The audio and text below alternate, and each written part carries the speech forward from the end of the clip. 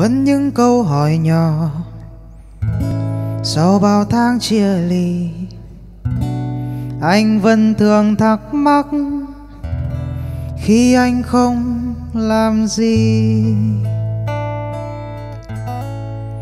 Em dạo này có còn xem phim một mình.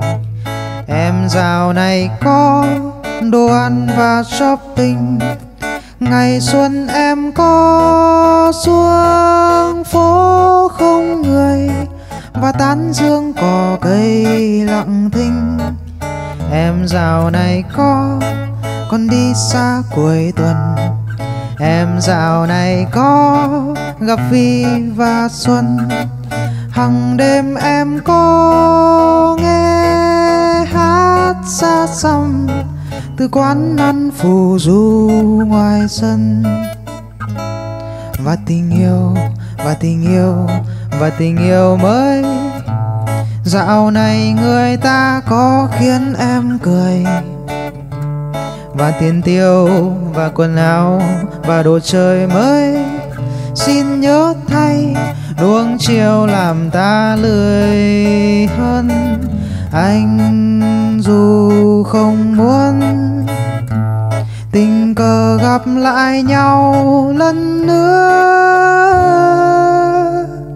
Nhưng em có đi trà đá hồ gươm.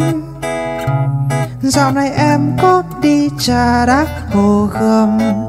Ta ta da da da da ba da ta da ta ta da da da da ba da ta da da da da da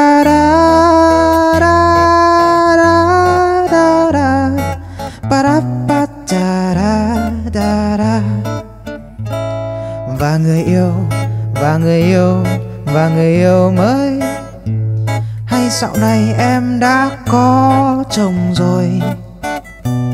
Và tiền tiêu, và quần áo, và kỳ lạ mới. Xin nhớ thay, nuông chiều làm ta hồi xuân. Anh dù không gặp lại nhau lần nữa. Nhưng em có đi trà đá hồ gươm. Dạo này em có đi trà đá hồ gươm.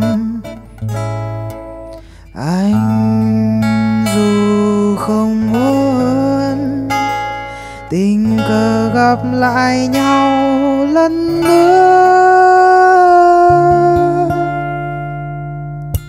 Nhưng em có đi trà đá hồ gươm. Dạo này em có đi trà đá hồ gươm. Nhưng em có đi trà đá hồ gươm. Dạo này em có đi trà đá hồ gươm.